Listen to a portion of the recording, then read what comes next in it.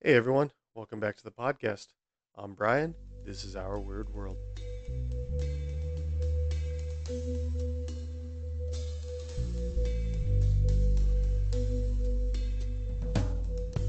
So, before we get into the episode today, I want to give a big thanks to everybody that's on the Facebook page. I've been seeing that it's been slowly growing and people have been joining, so thank you. I appreciate it. That's awesome.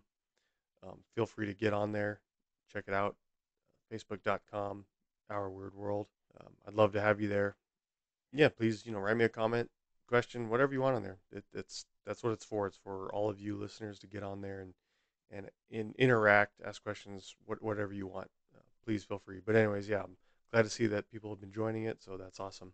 Also, I've been looking at my analytics for all of the listeners and everybody listening to the podcast, and that too has been growing very steadily as well. Um, listeners all over the world, which is fantastic. I think that's great. I'm glad to see it. So, to all of you people that are out there listening, thank you. I appreciate it. And that's why I'm doing this. Um, I, I do it for all of you, for, you know, maybe you can learn something new, maybe hear about something you didn't know before.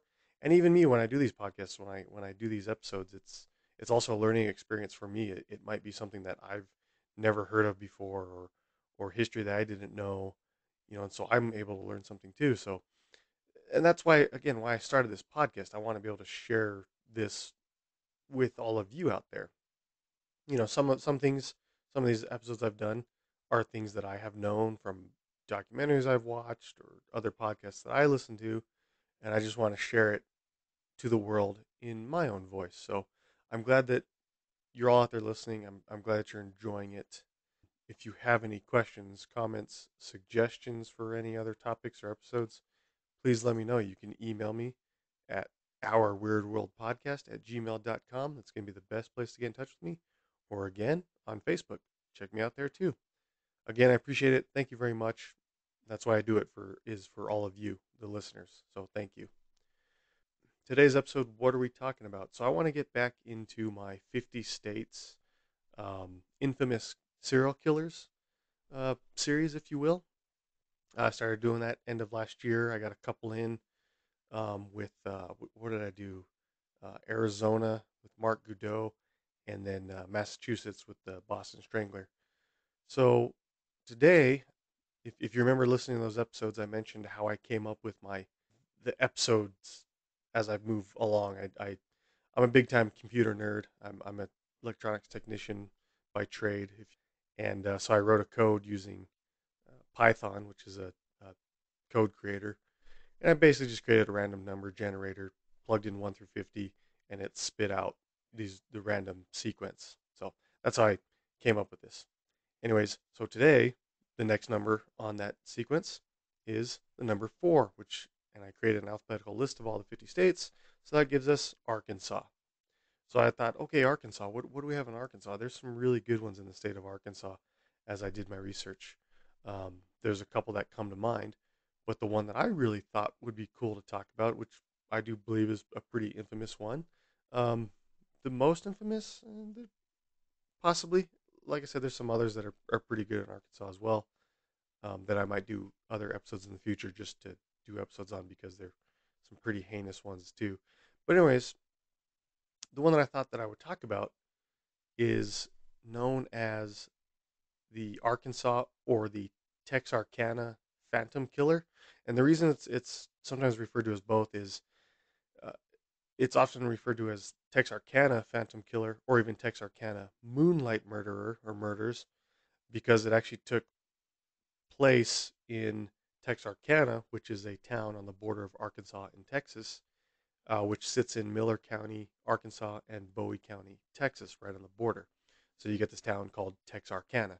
So for those of you that are outside of the United States or or not even familiar with that area, you have obviously you have Texas and the state of Arkansas bordering each other, and there's a town right on the border, duly named Texarkana.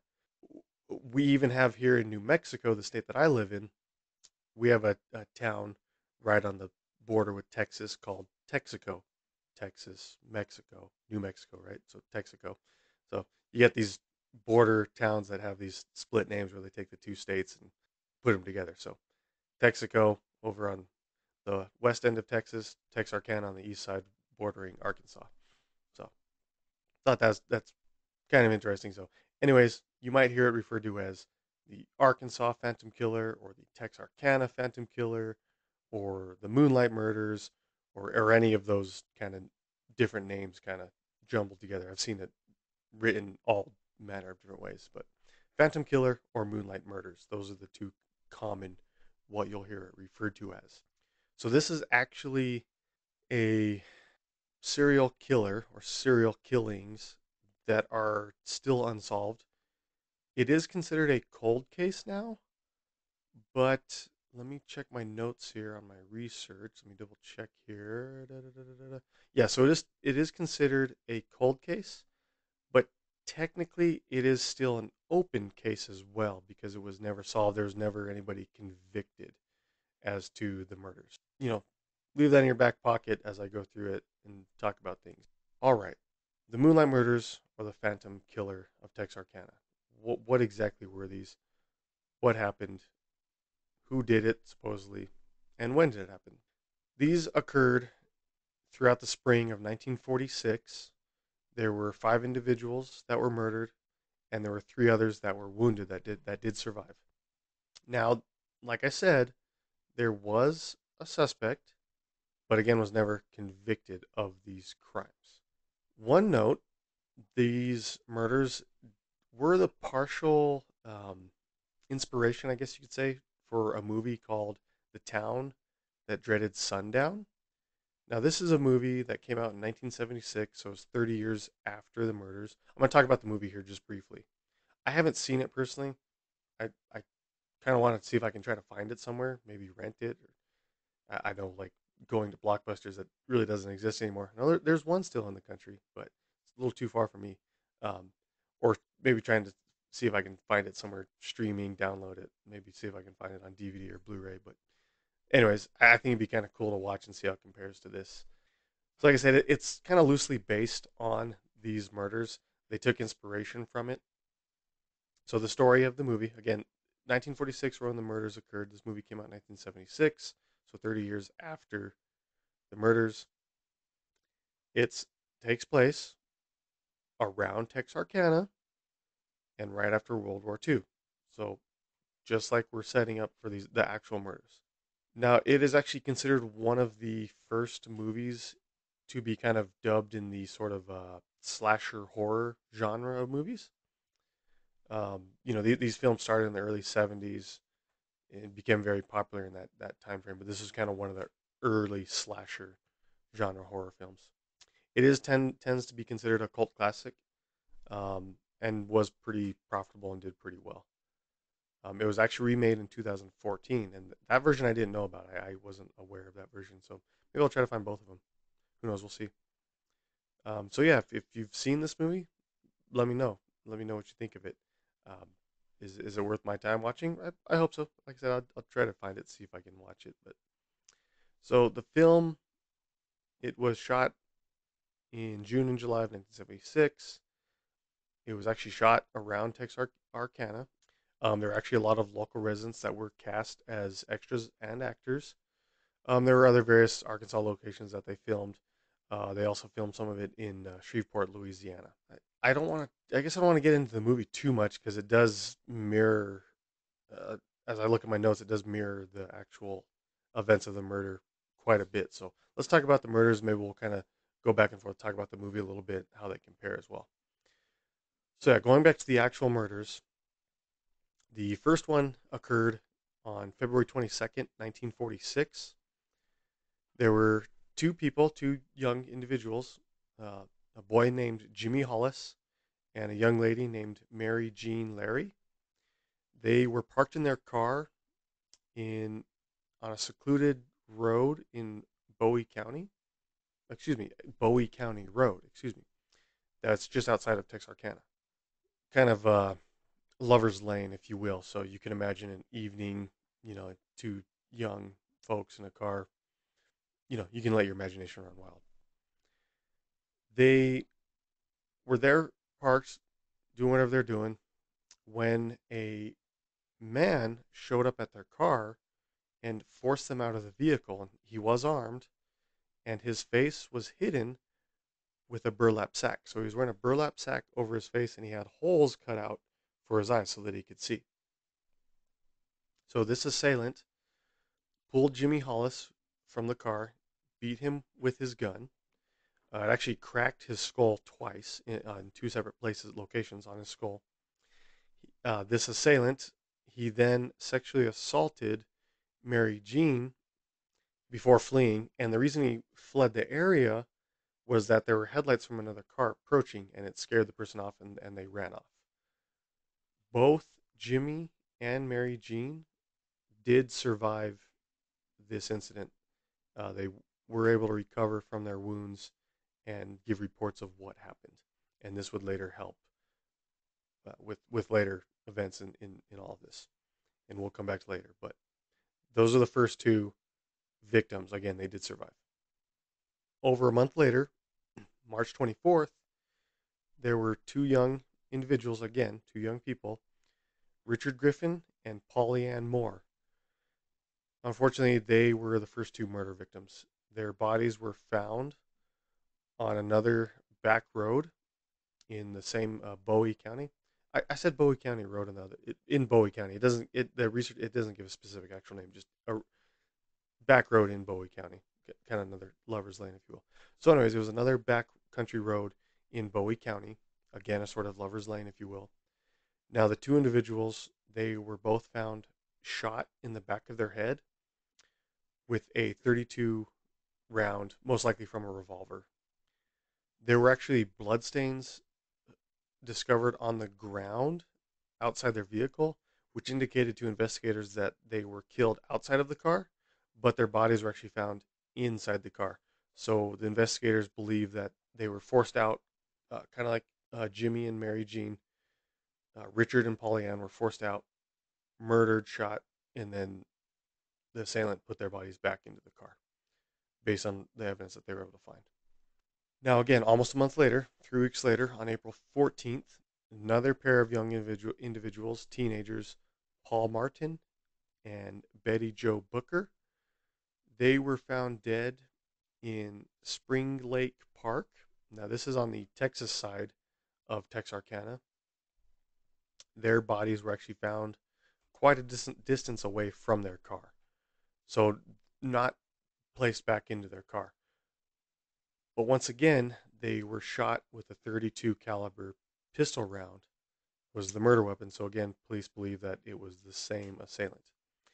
Now, being that their bodies were not placed back into the car, it did bring up some questions that was it the same person or not, or perhaps the assailant shot them and killed them, and then again, kind of like the first incident where the two weren't killed, maybe they, the assailant got scared off by somebody approaching the area, something like that. So Again, they were murdered, their bodies were away from their car, not placed back into the vehicle. The young ladies in both of these murders, unfortunately, had been tortured and sexually assaulted before being killed. That obviously, right now, before we get into more of the evidence, leads you to believe that this person was likely there to sexually assault, rape these young ladies, and then murder them or was it somebody that was following them and wanted to sexually assault these women, but then they had a male companion with them?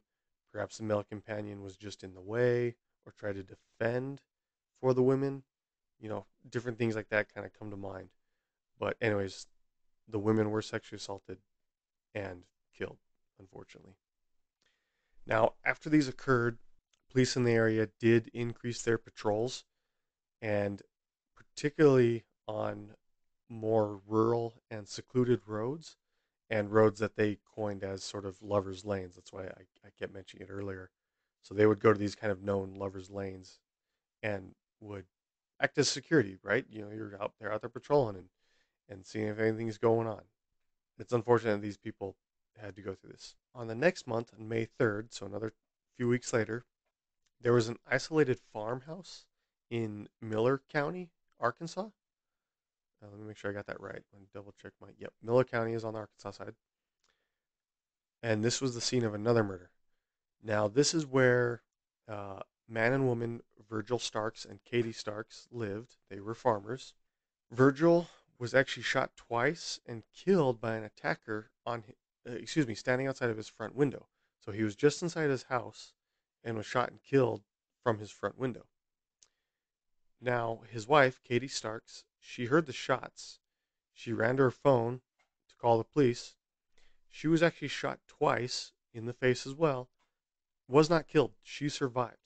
Despite this, despite having been shot twice in the face, she was actually able to escape and ran to a nearby farmhouse, uh, you know, probably another na- neighbor down down the way, and to to get help. These two were not shot with a 32 caliber pistol. They were actually shot with a 22 caliber pistol. But there were tire tracks that were found in the area of this farmhouse that police did say were similar to those in the earlier cases that they found around the area of the other murders. Now, of course, yeah, that, that's that's pretty decent evidence, I guess. But tires, you know, it's even back then, you could have had the same tires on a different vehicle. It could have been somebody else, a different assailant. But still, it did leave the investigators believe that it was the same killer.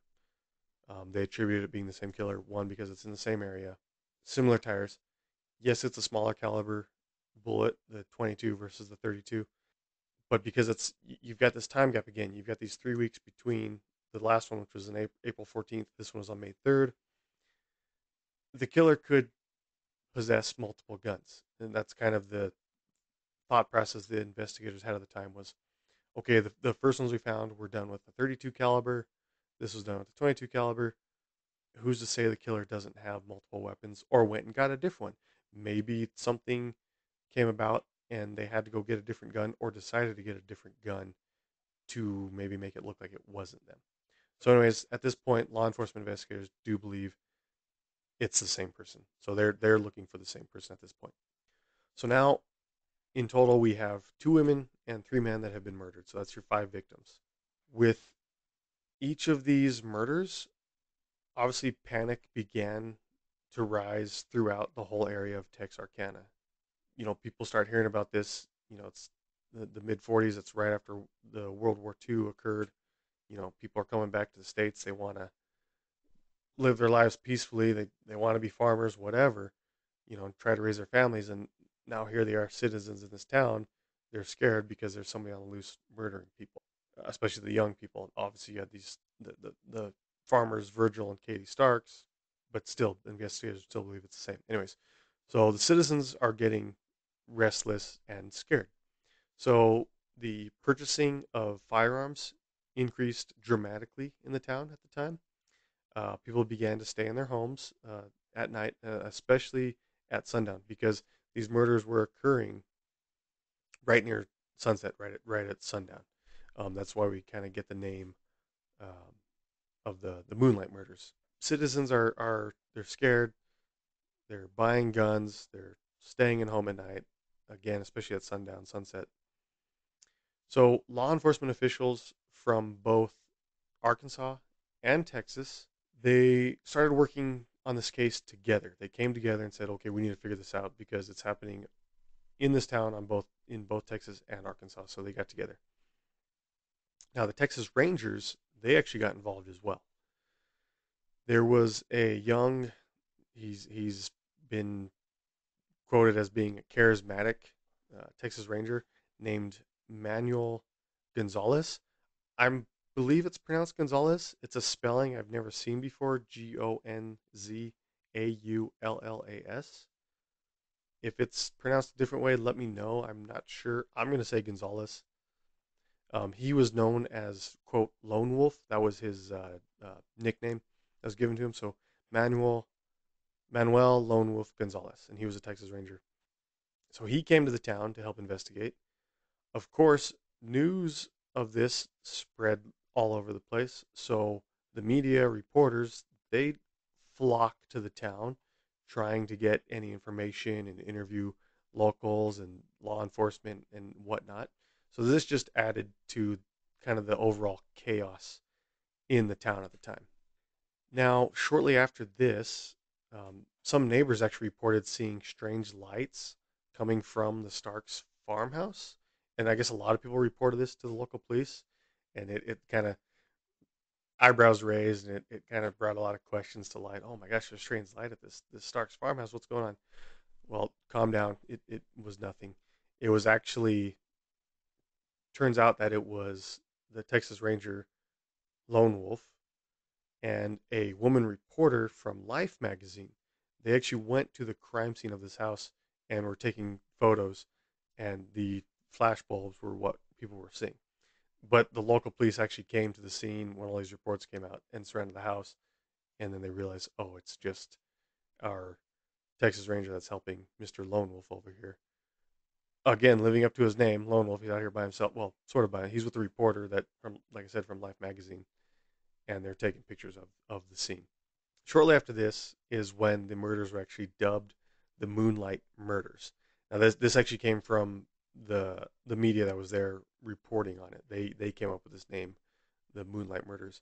I wasn't able to find exactly who coined the term term. Excuse me, um, which reporter or a, a news agency actually came up with the term Moonlight Murders, but it was from them that that coined this term. You know, in all these serial killings, any of them that you you hear this a lot where it's you know they coin these fantastical kind of names right? And it, it makes sense. They're going based on certain patterns. You know obviously this one moonlight murders they're going because it's they're happening in the evening as the sun is setting it's becoming night they come up with some sort of name that sounds you know very alluring and, and romantic if you will right but it, I, I get it. It makes sense. It's an easy name to put on something or, or term to be able to refer to it, and and then that way everybody understands and knows, right? They they you say Moonlight Murders, and everybody, oh, okay, we know immediately what you're talking about, which is fine. And again, because they don't have a suspect, it's easier to put uh, uh, some sort of like a fictional name like that on it. You know, they they all have them. They all have their sort of unique name like that, right? So you know, like like the last one I did, the Boston Strangler. Anyways, they all have these names like this. So, anyways, it was called the Moonlight Murders. That's what they're calling it now at this time. Even despite that, the first two occurred a week after the full moon, and the final attack occurred around the time of the new moon. Just, just to let you know that. But still, got that name, Moonlight Murders. Again, because these murders were happening in a way that um, the killer would strike and then would vanish right right away. This murderer was also dubbed the Phantom Killer. So you had the Moonlight Murders was kind of the general name for all of it, I guess, and then the Phantom Killer was kind of the name that was put onto the, the perp, the, the person that was doing this, or the, the murderer that was out there. So you had the Moonlight Murders, perpetrated by the Phantom Killer. Um, this one w- was actually came from a local newspaper called the Texarkana Gazette. That they were the ones that coined the term Phantom Killer for the individual, wh- whoever it was that was doing this. So you know they're they're out there. Okay, law enforcement are looking for this individual. We're going to call him the Phantom Killer. So they put a name to whoever it is that was doing this. A lot of individuals actually came out and claimed to be the Phantom Killer, while other citizens came forward with various ac- accusations against other local residents. Um, you know, I think some of this could just be the hysteria at the time. Some people wanting to seek the fame of it. Why? I don't know. You know, as the Phantom Killer, I, you know, I don't know what's going through people's minds back then. Um, but then the, the the other side of that where where people are accusing others yeah i think that again is just adding to the hysteria people are scared they they're, they want to point fingers right you want to find somebody and you want to put them behind bars you want to see them hang etc right so i again i think it was just at the time people were scared they want it to be over they want the law enforcement to find somebody so they're going to point fingers oh it's this guy he doesn't look right oh, it's this lady. She she doesn't sound right. W- whatever. People are going to come up with all kinds of fantastical reasons to point fingers at somebody because that person wears a different color jacket than everybody else, or they work different hours than everybody else, or you know, who knows, whatever, any number of excuse people are going to try to come up with and point fingers and say, "Yep, that's him. That's our guy. That, that's the one. That's the Phantom Killer. Get him." There was a young man who was a student at the University of Arkansas in Fayetteville, Arkansas, which is in Washington County, who came from a very prominent Texarkana family. He actually killed himself in his room in his Fayetteville dorm room in, in at UA, University of Arkansas. Now he actually left a poem and a supposed confession to these killings as a phantom killer. But investigators would actually determine that these were false. This was a false confession.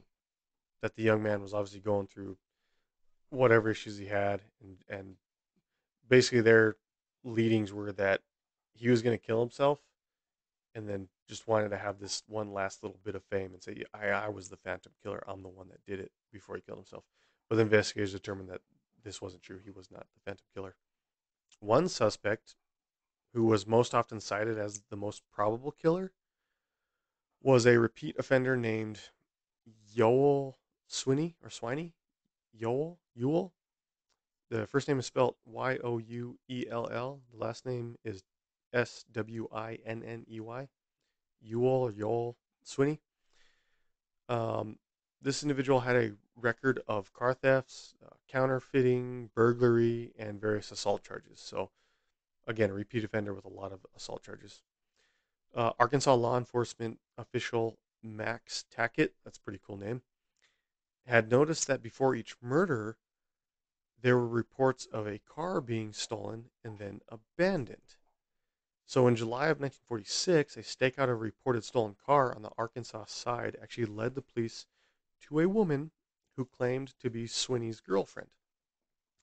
She actually provided details of the murders that had not been released to the public. So she was actually giving detailed accounts of murders that the public didn't know about, that, that, that the news weren't able to get a hold of. But later, her story changed and she went on to marry Swinney. So, again, somebody just making it up. Her boyfriend, fiance, soon to be husband, is a known criminal. Whatever reason, she's out here making up stories about these murders and claiming that he did it. Maybe she wanted the fame and and everything to go with it for. I don't know. It again, it later came out that that her what she was stating was false because of her unreliability. Um, excuse me, because of her unreliable testimony and the fact that she could not be forced to appear as a witness against her husband. Uh, law enforcement officials uh, decided to to not prosecute against her or him for this. So they just, as far as for the murders, they left it left it alone for him and for her making this stuff up. They're just kind of like, okay, go away. Later in 1947, Swinney he was jailed for life as a repeat offender for car theft, but was released on appeal in 1973. He had done it so much, so much that he was later arrested in 47. He was convicted. He was given life in prison for car theft. That's, but again, like I said, he was released in 1973. A lot of sources do say that he died in prison, but a lot of sources say that he died in 1994 at a nursing home in Dallas. But the records do indicate that he was released in 1973. So I'm going to go with the latter, that he died later. That was one that came about that claimed he was it, but apparently he wasn't. Years later, in 1977, an Ar- Arkinson. Is that how you say it? Arkinson? Charles B. Pierce. He actually produced an R-rated horror film called "The Town That Dreaded Sundown." This is that movie that I was talking about, with the tagline, 1977. That's 1976. I thought I said 1976 earlier. Hmm. Yeah, I'm looking at my notes. One one of my re- uh, sources says 1976. One re- source says 1977. I'm gonna have to look it up and find. I'll look it up and find the exact year. But he's the one that produced this movie, uh, "The Town That Dreaded Sundown," and the tagline was, "quote In 1946, this man killed five people.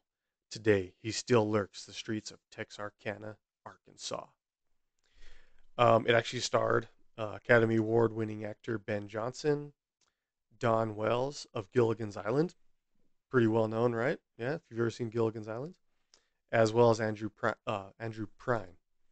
Though it was purported to be based on these murders from the Texarkana Moonlight murders, um, a lot of people did dispute its accuracy. That, that's that's why I want I want to see it. I want to watch it and see what they say in this movie. But again, everything I found about this movie does say that it was loosely based on this, but not a hundred percent like not like a true true story of these murders, but just using it as inspiration, probably right. But again, like I said, it does remain uh, a cult classic. So with all of that, still to this day, like I said at the beginning of the episode, the identity of the Phantom Killer is still unknown to this day. It still remains unknown. They've never been able to identify an individual and say, yes, this is the person that did it. And once again, like I said at the beginning of the episode, this is still technically considered an open case. However, it is also considered a cold case, just being that there's no evidence or no new evidence to point at anybody that did it. But in 1996, the Texarkana Gazette published a 24 page special that they called The Phantom at 50. Because of this, the crime was revisited by local law enforcement quite extensively, actually. And they reinvestigated, looked into it, and they even revisited it again later in 2003 uh, with the help of through the uh, Dallas Morning News. But even after all that, more investigations, still nothing was found, nothing came of it, and it was still just considered a cold case, but technically not closed. It is still an open case. Who is the Phantom Killer? Who is the one that did it? Uh, so the two individuals at the beginning of all this in February 1946 that survived, Jimmy Hollis and Mary Jean Larey, after their incident, they did state that it was a man based on kind of the, the size and, and physical build of the person. So law enforcement had always been looking for a man. They did say that it was a man. So who was this man that attacked them? And was it the same man that murdered the other individuals? Maybe we'll never know. Um, perhaps there's new evidence that might come to life, or maybe they'll relook into it again in the future and be able to find and discover who it was that that perpetrated these murders. But again, like I said, still to this day, it is unsolved. It is considered a cold case, but it is still an open case. So if you know anything about it, if you have any more information about it, if you have any comments about it, let me know. Reach out to me. Um, I would love to hear it. I'd, I'd love to know your thoughts, your ideas, your opinions on it. Uh, hit me up on Facebook, Our Weird World. Email at Our Weird World Podcast at gmail.com. That's going to be one of the best places to get in touch with me. Um, even on Instagram.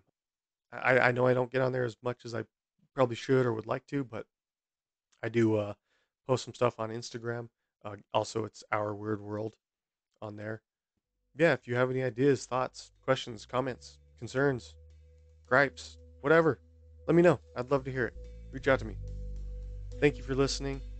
I hope you enjoy this episode, and we'll catch you next time.